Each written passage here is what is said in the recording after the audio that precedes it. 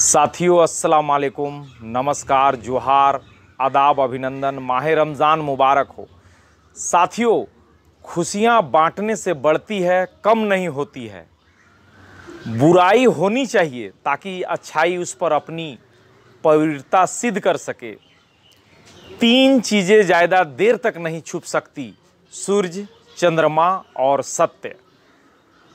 तो साथियों, ध्यान रहे ये खास करके माह रमज़ान का दिन चल रहा है और हमारे वेस्ट बंगाल से एक दादा आए हुए हैं। बचपन में इनका पाँव जो है बैलगाड़ी का जो चक्का है पहिया है कट गया था। तब से ये चलने में असमर्थ हैं लेकिन हम इनको कहते हैं कि हमेशा आप आइए। क्या नाम है आपका? मेरा नाम है आनंद।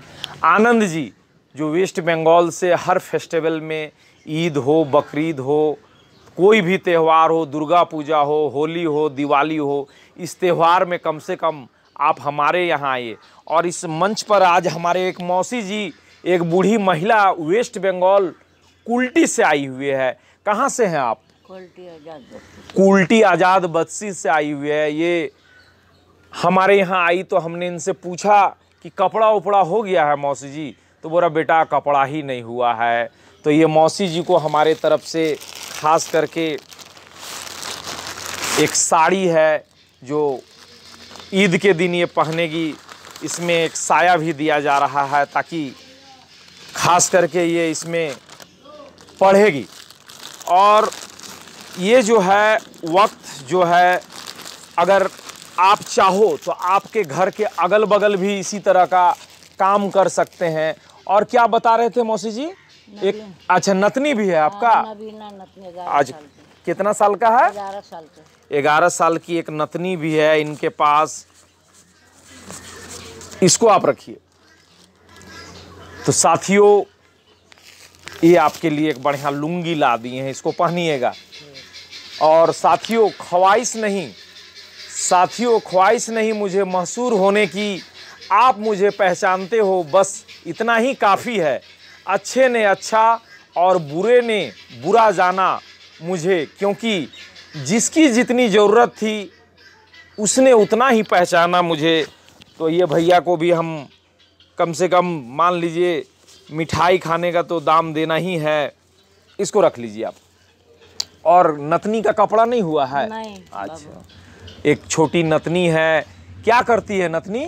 घर में नमाज़ उमाज पढ़ती है। घर में नमाज़ उमाज पढ़ती है, रोज़ा भी रखती है, उससे कपड़ा नहीं हुआ है। तो साथियों, कपड़ा के लिए तो हम चाहेंगे कि कम से कम इस तरह का काम करने से हमें संतुष्टि मिलता है। तो ये छोटा सा सोशल मैसेज है आपके घर के अगल बगल इसी तरह कोई अगर मिल जाए तो आप कोशिश करो कि मान लीजिए आप पैसा वाला है, आप कपड़ा पहन सकते हैं।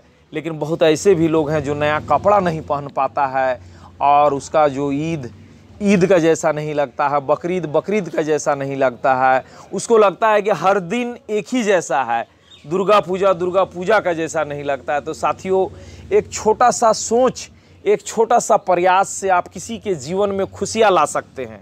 तो हम चाहेंगे कि हमारी मौसी जी इस मंच पर आई हुई है। ये जो है, इसको आप पाँच सौ रुपया और रख लीजिए, उनको कपड़ा खरीद दीजिएगा नतनी को।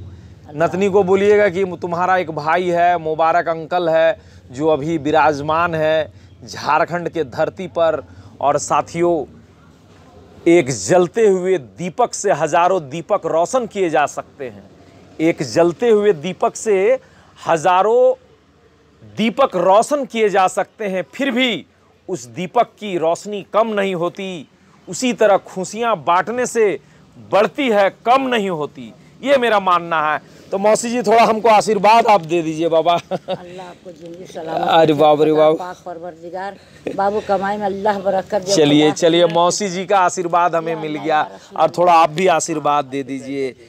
हम इंडियन हैं हम हिंदुस्तानी हैं और हमें ईद भी मनाना है दुर्गा पूजा भी मनाना है होली भी मनाना है बकरीद भी मनाना है। धर्म के नाम पर देश को दो भाग में नहीं बंटने देना है। साथियों, एक छोटा सोशल मैसेज, आपकी सोच, आपकी एक छोटी सी सोच किसी के जीवन में आप खुशियाँ ला सकते हैं। इन्हीं शब्दों के साथ जय हिंद, जय भारत और वंदे मातरम।